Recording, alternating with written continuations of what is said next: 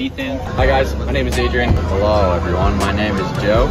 This is McBride Residence Hall. This is gonna be our first stop of the day. Um, let's go find some families. Okay, our first question of the day is, what is the most important thing that you brought?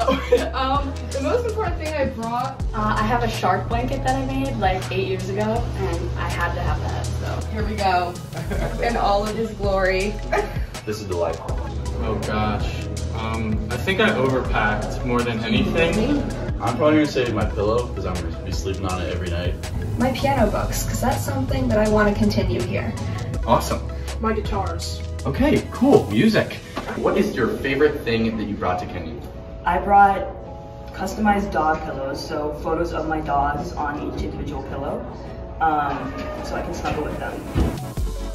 And what is the most important thing you brought with you to your dorm today? I have a signed original copy of Stone Butch Blues, which is my favorite book. I've got it in that corner. Laundry detergent. Okay, great answer. Been said before. mattress topper. Good choice. I'm gonna go less practical and say my AirPods. Good idea.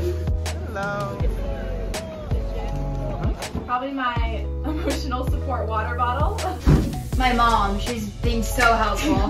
Very, very good answer. This map I got here, it's up the Great Lakes.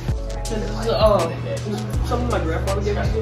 Ooh, I don't know. I mean, I was on a camping trip for the last uh, few days of the Creo trip, so probably soap is, is really helpful for me.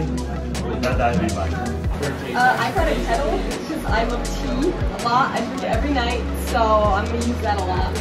One item that I brought is my Taylor Swift poster. She is my icon, and now I get to wake up to her every morning. Ooh, lots of storage, um, and like little container type things. I have one more for you. Okay. What are you looking forward to most about being a first year here at Kenyon? Don't know. I'm just kind of gonna see where it takes me. Oh, I'm just excited to learn. Yeah, have fun. Learning stuff. I'm excited to just meet a lot of new people. I don't really know anybody, so I'm really excited. Yeah. And what is the one thing you're most excited for this year at Kenyon College? Uh, probably just meeting new people, making new friends, and starting something new.